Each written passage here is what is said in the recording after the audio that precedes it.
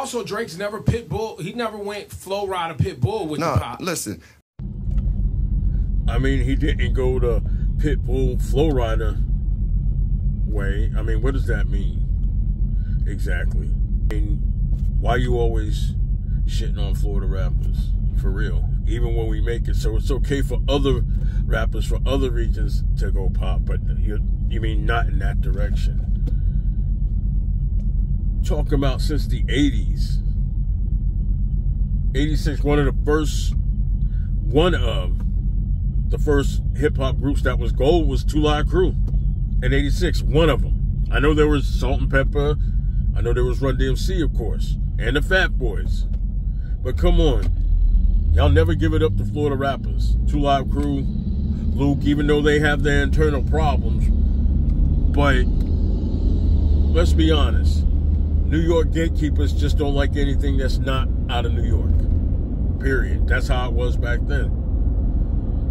And we like New York stuff down here in Florida.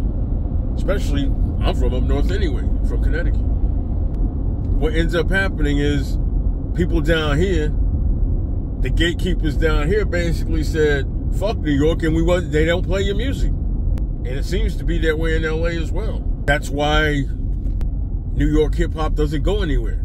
Even though technically that's my favorite shit. No doubt.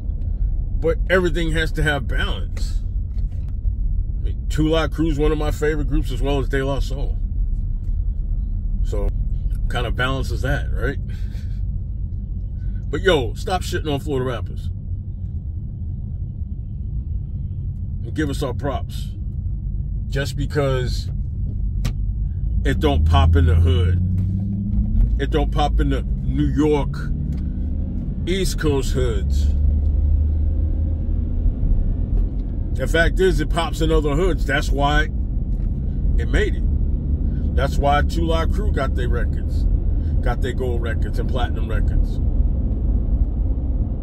And if and since we on it right now, you still, like you say, the the bias, the biasness. First Latino rapper to have a gold album wasn't Big Pun. It's Mellow Man Ace, but y'all don't want to consider that. The gatekeepers don't want to call it that.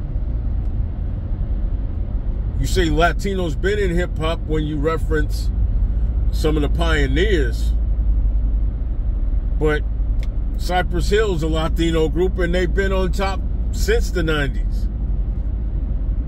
But you don't really mention them. It's an afterthought mention. Come on, y'all, be honest and get it together. It's a time of what? Truth and reckoning? So let's get some truth and stop being biased.